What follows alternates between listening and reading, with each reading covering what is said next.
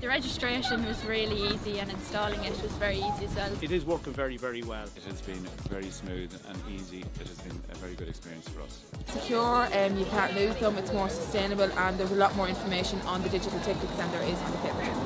It's all about getting people through the gate as fast and as easy as possible and also improving the experience for both the fans and the event organisers and we feel that digital ticketing has done that. It is the future of ticketing. Very reliable, easy to load on your phone. It was great coming in through the gate.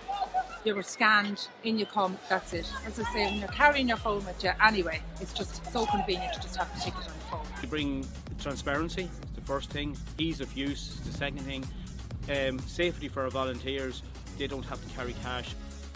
Uh, the digital tickets are much better than the paper. Uh, tickets just easier. At the minute, I think they're they're great. They're just cuts down the need to carry cash. No one has it on them anymore, so it's just easy to have your ticket booked a few days in advance. You don't have to worry about losing it even on the way to the game. It's just there on your phone. Just fierce handy.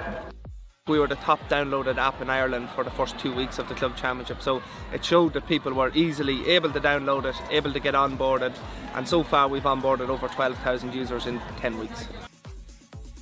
The push notification functionality is very simple to use and we found great benefits for it with Cavan GAA. We use it to promote their half-time draw so Cavan are able to get e-commerce benefits from the push notification and from the fans that they've built up who are now using the system.